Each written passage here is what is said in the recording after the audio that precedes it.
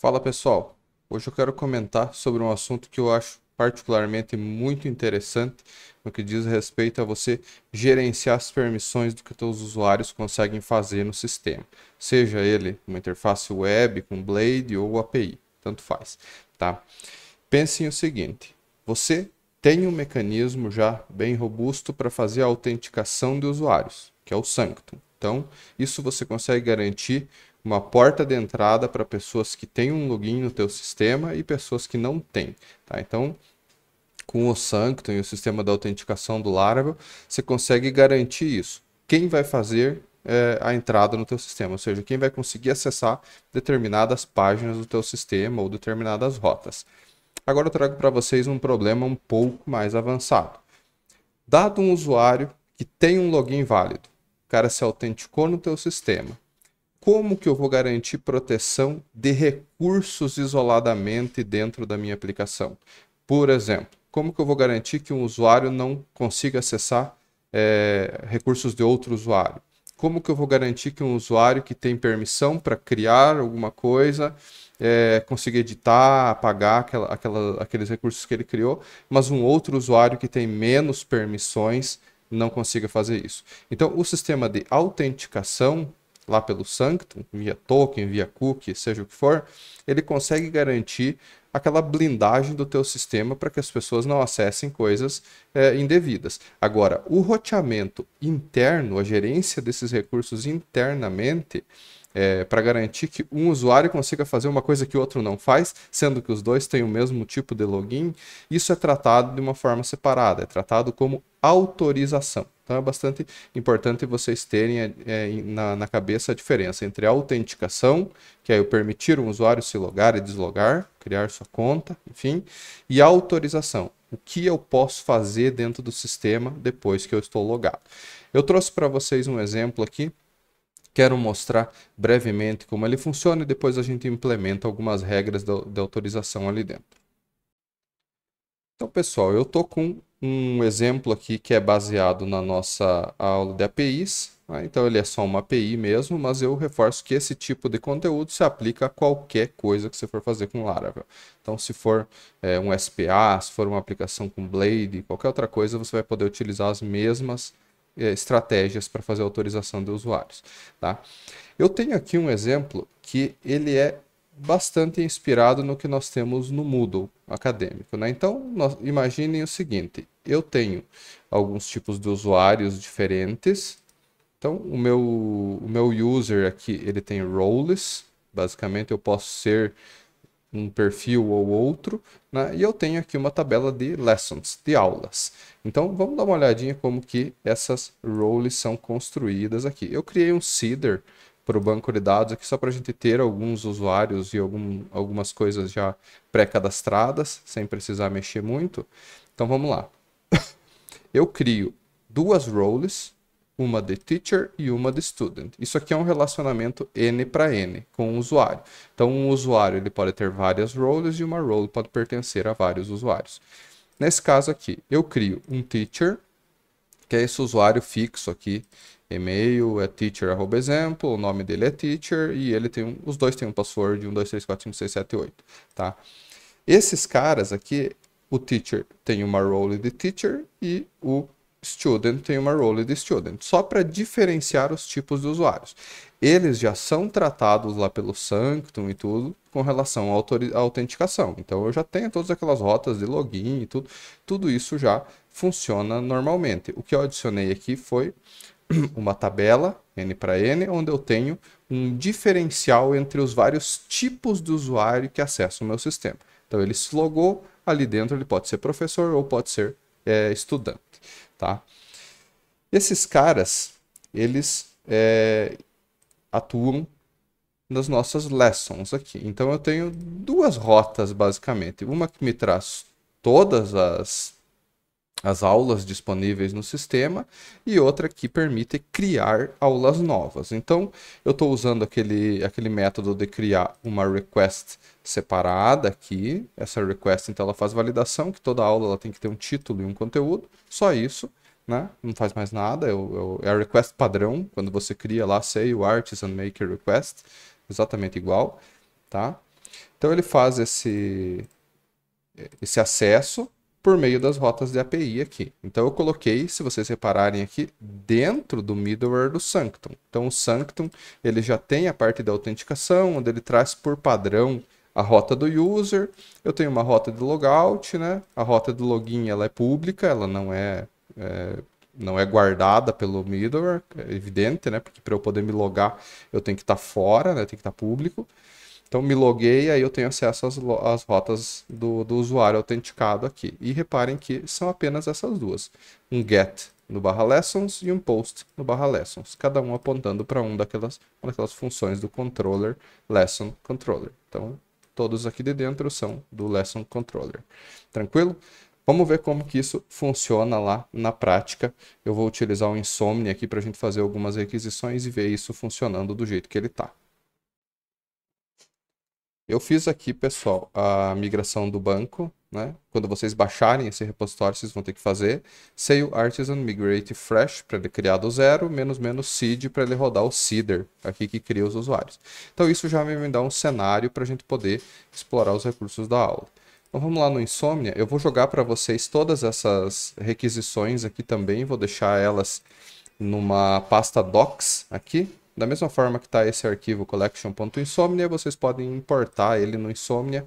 Ele vem com todas essas requisições para vocês poderem testar ali, tá? Então, olha só. Eu tenho algumas rotas de login aqui, do teacher e do student. É, já está com um token aqui, porque eu estava testando antes, mas vamos rodar de novo. Logando via teacher, ele faz o login e gera um token. Logando via student, ele faz o login e gera um token. Cada um com o seu, tá? Da forma como tá, eu não estou tratando nada de autorização lá no sistema. Então, todo mundo consegue fazer tudo. Se eu pegar aqui o login do student, por exemplo, eu vou copiar o token dele aqui, ó. E eu coloquei aqui no environment, para ele ficar global, esse token. Vou colar ele aqui. Que aí em todas as requisições eu tenho ele aqui, ó, só underline token. No Insomnia você consegue fazer isso. Você cria uma, como se fosse uma variável de ambiente que daí eu troco aqui, ele troca em todas as requisições. Então, da forma como está, não tem tratamento nenhum de autorização. Se eu quiser, eu consigo obter todas as lessons, no caso não tem nenhuma cadastrada, eu consigo criar uma lesson. Ó, então ele está criando lá usando o faker mesmo. É, ele está criando via student, inclusive, porque foi o token que eu copiei, né? Eu copiei o login do student e olha só, o student conseguiu criar uma lesson. Deixa eu criar mais uma vez aqui.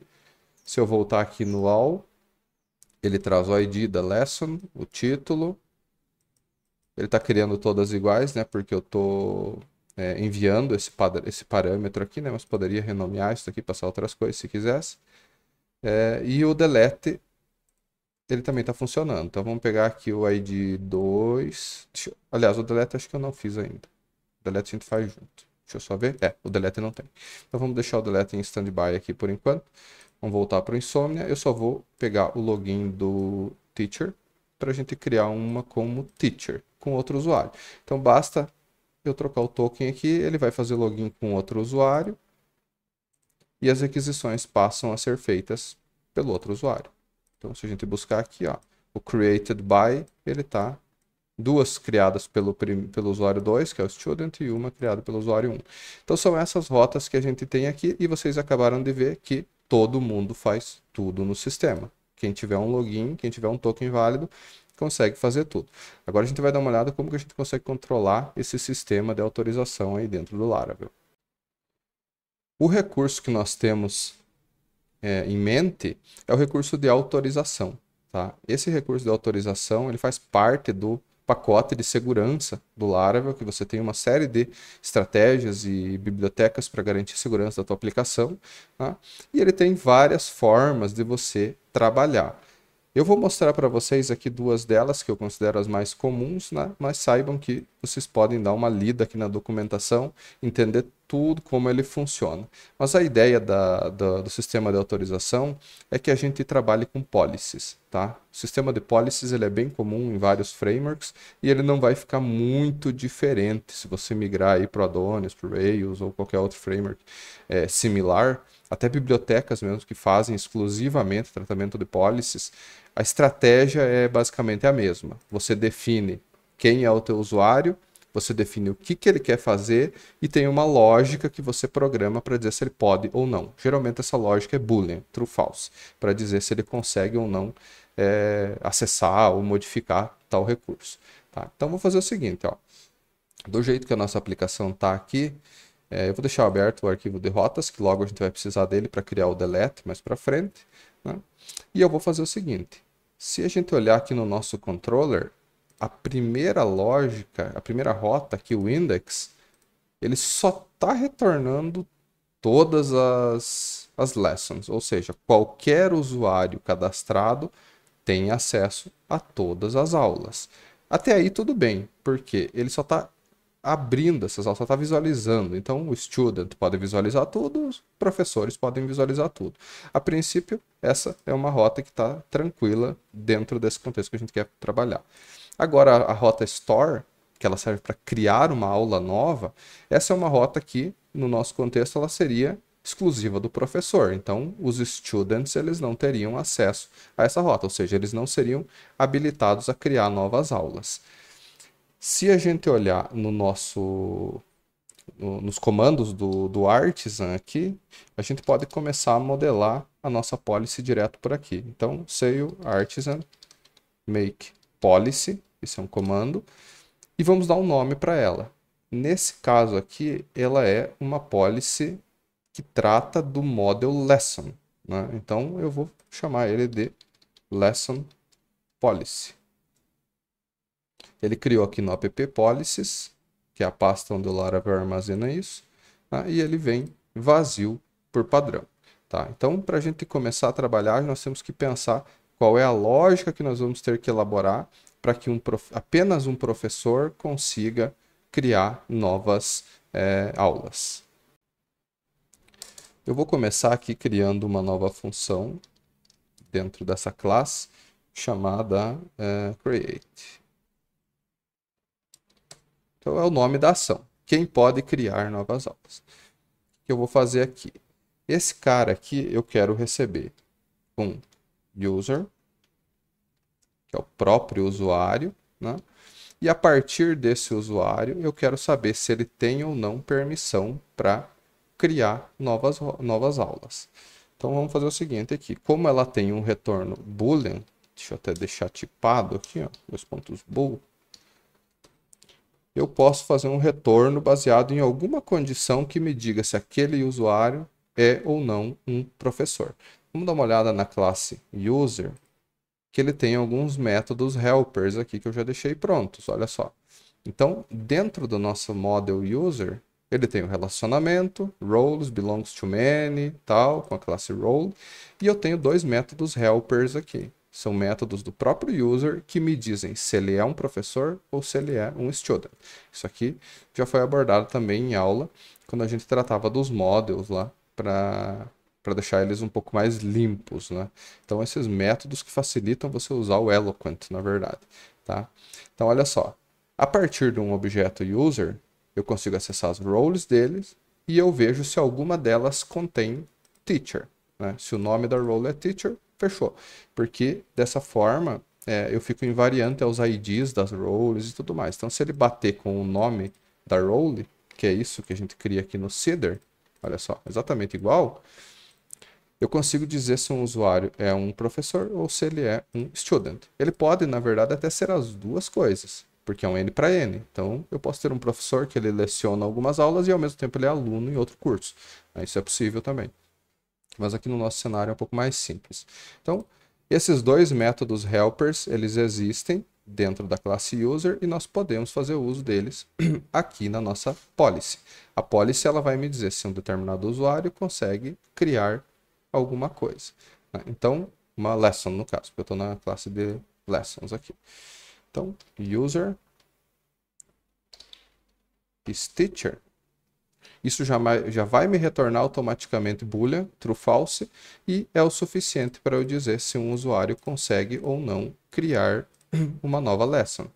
Se eu quisesse, eu poderia montar lógicas elaboradas aqui, né? Or, tal coisa, e assim por diante, né? Fazer consultas e tudo mais. É uma classe PHP normal. Poderia fazer a lógica que eu quisesse aqui dentro, desde que eu retorne true, false. Se ele pode ou não fazer essa ação que você está nomeando aqui no nome do método. Beleza? Então, criada essa, essa policy, nós podemos pensar em como injetar ela no nosso controller para que ela seja válida, para que ela faça parte da validação da, da request. Então, dando uma olhada aqui no nosso controller, é, essa função store ela já está com uma request é, baseada em classe. Né? Então não é a requisição padrão do Laravel. Já existe uma request aqui, que é aquela do say artisan make request. Né? A, a, a forma mais, mais simples de montar.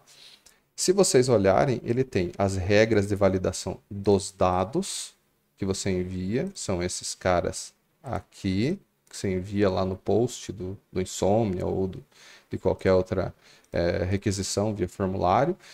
E olha só, ele já tem um método authorize aqui em cima. E esse método está retornando true, ou seja, ele está dizendo que todo mundo está autorizado a fazer isso. Ele não está validando nada. Né? Então aqui o que, que a gente vai fazer? Como eu estou vinculando essa policy aqui às minhas lessons, então o que, que eu posso fazer aqui? Eu posso acessar isso direto pelo método can, tá? Então, este user, ele automaticamente ele tem o método can e o método cannot é o user que vem junto com a requisição. Se vocês lembrarem do, do Laravel, toda request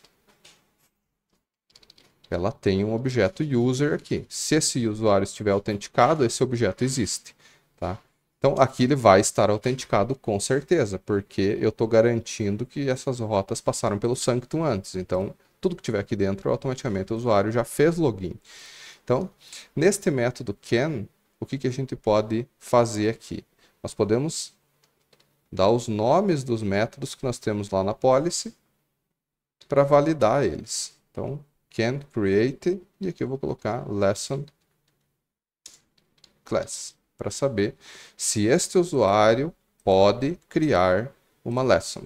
Então, essa é a sintaxe que a gente utiliza na função de autorização. Ela fica dentro da request, então logo, toda vez que você passar para o método store aqui, pelo validate ou pelo validated, que já retorna os dados, automaticamente essa request ela já passou por validação dos campos que você submeteu e também pelo user, para saber se aquele user tem ou não a permissão para criar um novo recurso aqui nesse caso.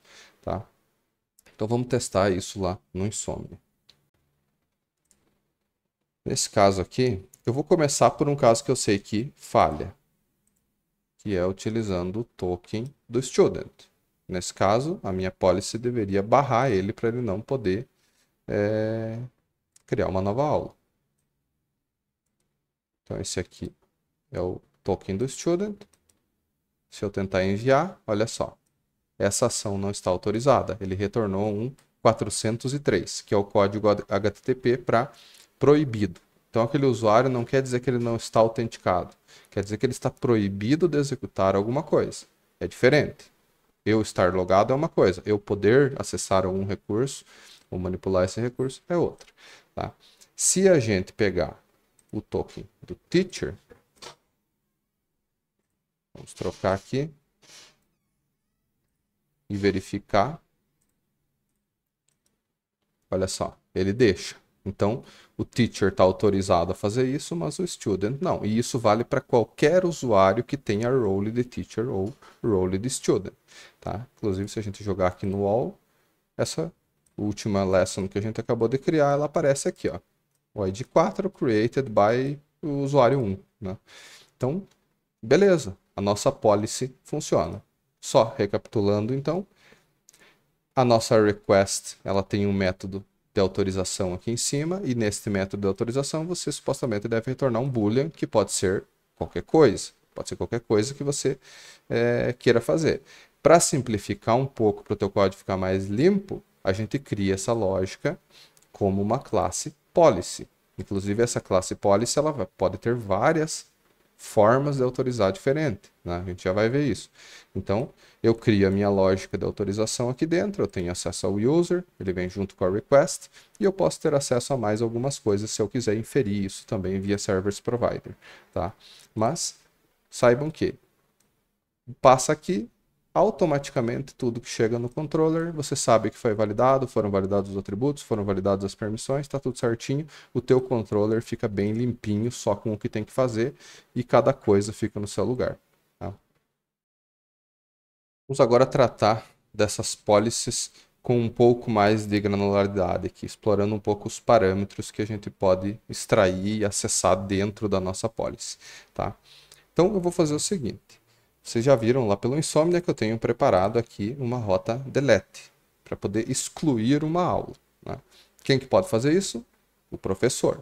Né? O aluno só visualiza. Então, olha só, vai ser API, Lessons e o ID dessa lesson.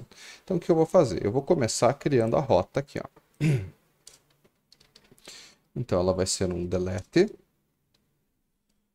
em lessons barra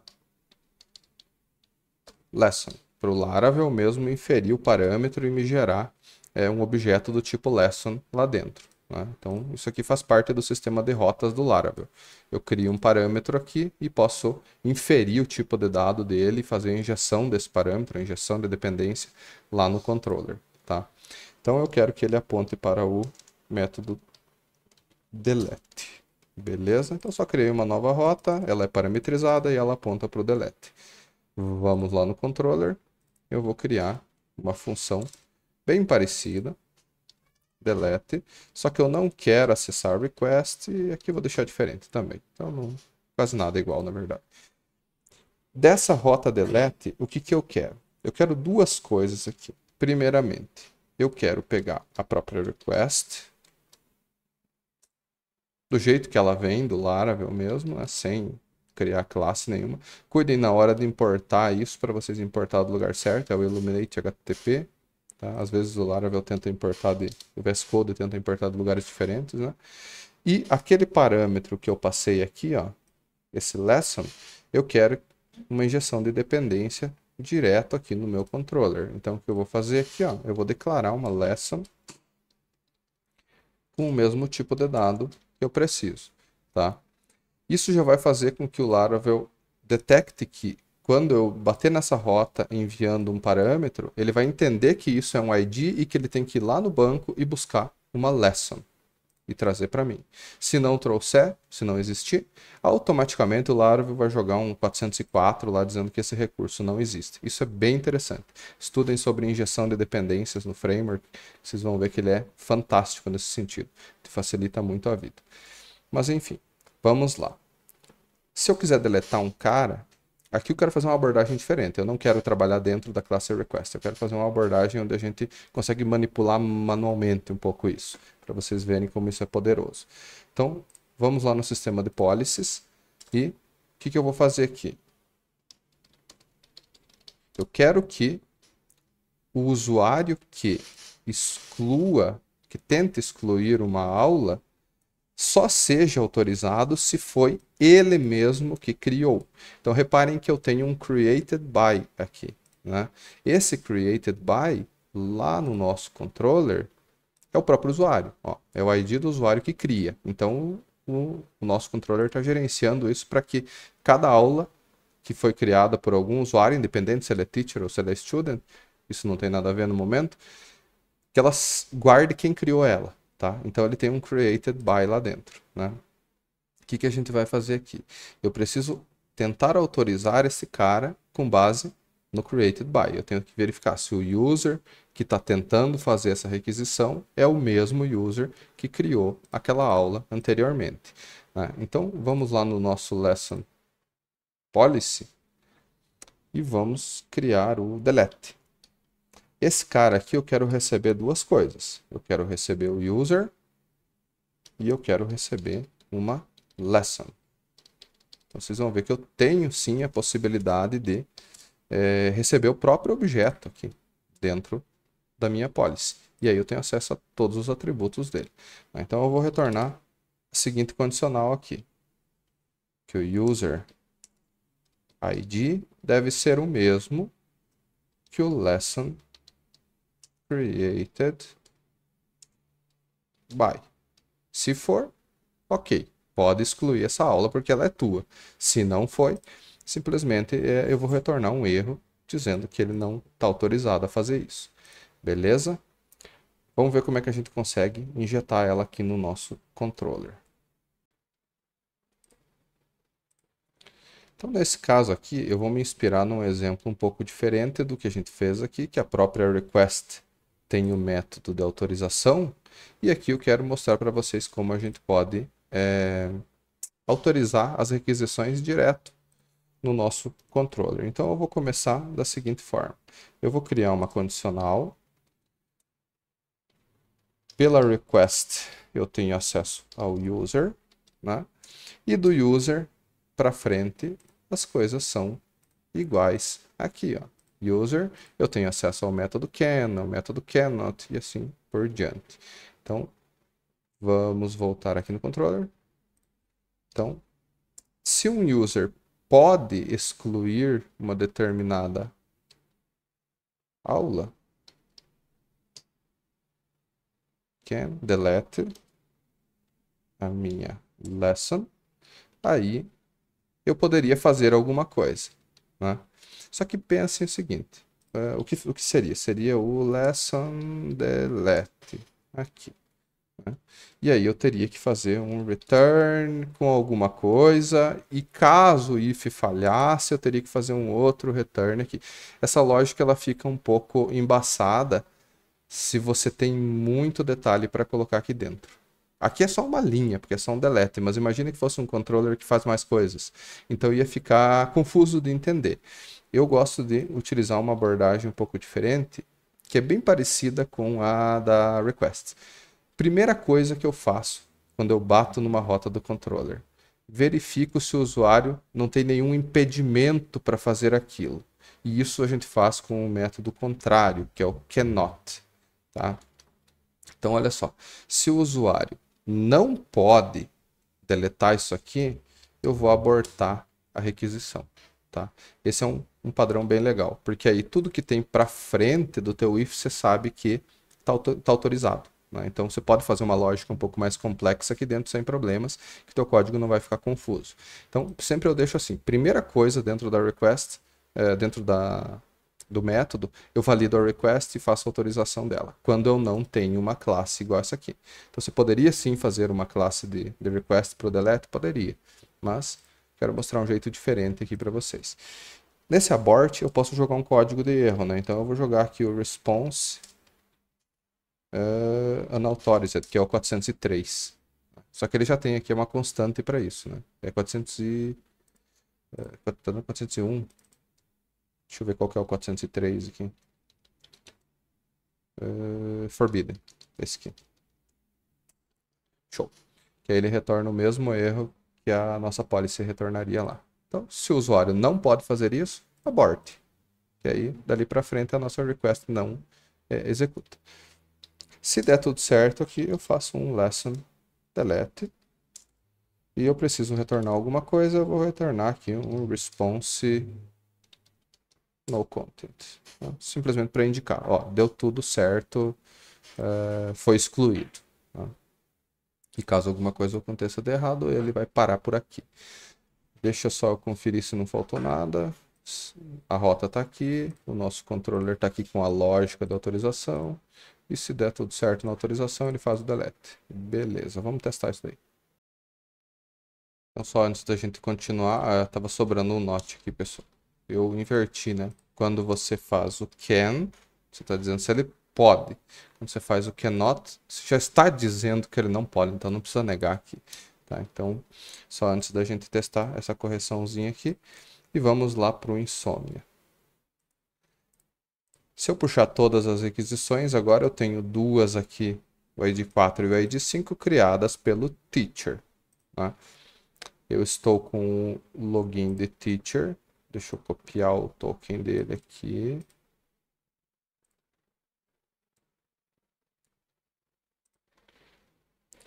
Vamos tentar deletar o ID. Deixa eu ver qual que tá aqui. O 4 e o 5. Vamos tentar deletar o ID 4. Show de bola. Ele excluiu. Se a gente voltar aqui, o ID 4 não existe mais. Agora vamos fazer um login com o student. Vou colocar o cookie do, o token do student aqui. E vamos tentar deletar essa mesma aqui, que é o ID 5, só que usando o student.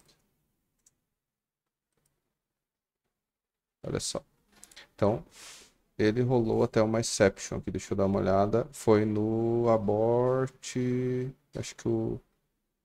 Deixa eu confirmar o que, que é isso aqui.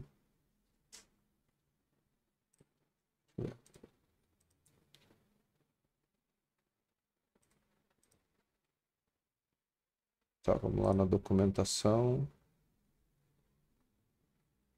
Estão retornando direto, mas isso está certo. É uma constante. Deixa eu tentar retornar direto só para ver se é isso.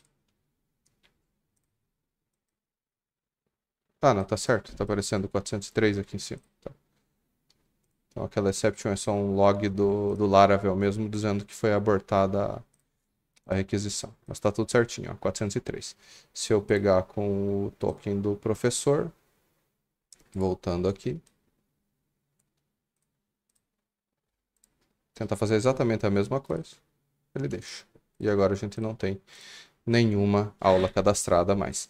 Então, assim, são várias formas de vocês construírem. Vocês podem dar uma olhada aqui na, na documentação. Tem várias formas de utilizar isso, inclusive com o Gate que é o primeiro exemplo aqui, usando a, o, o globalzão deles lá, né?